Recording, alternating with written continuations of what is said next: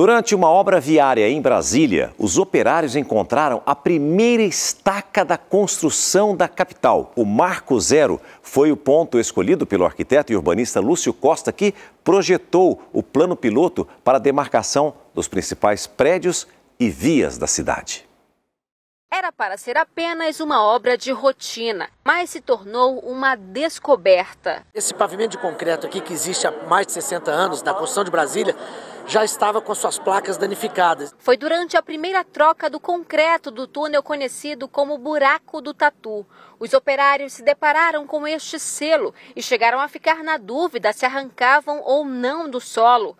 Quase que o marco zero da cidade se perdia de vez na história.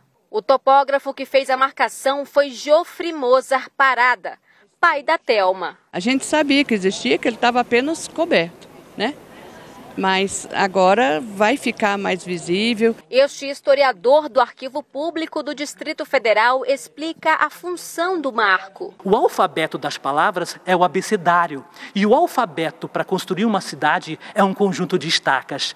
E a primeira letra do alfabeto que constrói a escrita de Brasília no solo do Planalto Central, a letra A, se chama estaca zero. É o coração do desenho do avião, inspirado no sinal da cruz projetado pelo urbanista Lúcio Costa. Da marcação foi possível, por exemplo, medir as distâncias para as sedes dos três poderes. Cerca de 150 mil motoristas passam pelo buraco do Tatu todos os dias. E assim como eu, que moro aqui na cidade há 14 anos, a maioria circulava por este trecho sem saber o que se escondia por baixo do concreto Agora, o Marco Zero da capital federal ganhou o seu devido destaque e se tornou um novo ponto turístico. A história do passado e do presente dando-se as mãos para revelar uma nova página da história de Brasília.